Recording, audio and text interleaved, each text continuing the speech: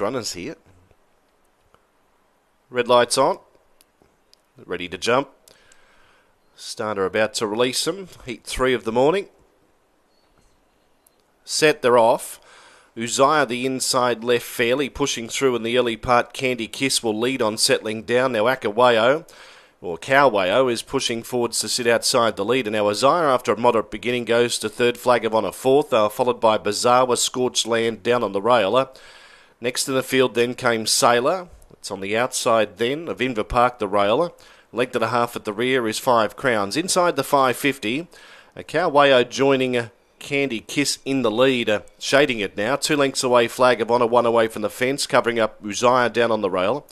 Two lengths then, Bazawa Scorched Land, now about to peel Deep Sailor. Pushing off the rail, then came Inver Park, and last of all, Five Crowns up to the bend. Uh, 250 left to go. Candy Kiss underneath Akawayo. Just behind them, Uzziah and out wide flag of honour cruising up to these leaders. Inside the 150, Candy Kiss pushed along. Uzziah back to the inside, flag of honour out wider. Flag of honour reached the lead inside the 50. Flag of honour wins. Defeated Candy Kiss Bazawa.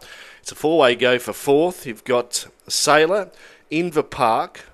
They're in that photo there with Uzziah and also uh, Akalwayo. Then came Scorched Land and Five Crowns was back towards the rear in the time 102.17.